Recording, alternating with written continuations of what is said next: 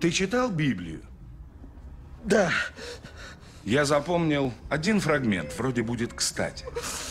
Иезекииль, глава 25. Итак, слушай. Путь праведника труден, ибо препятствуют ему себелюбивые и тираны, и злых людей.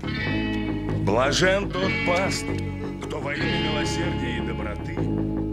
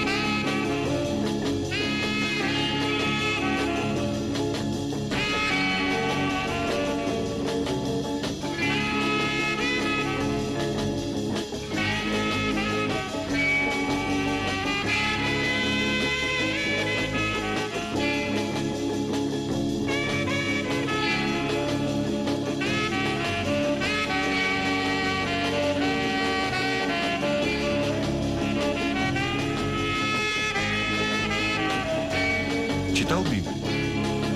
Иезекииль, глава 25.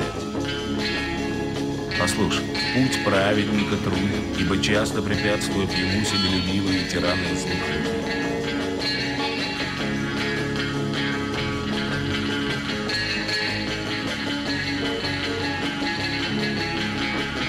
совершу над ними великое мщение и свое наказание яростное. Блажен тот пастырь, кто во имя милосердия и доброты ведет слабых за собой сквозь долину тьмы, ибо он и есть тот, кто печется о ближних своих.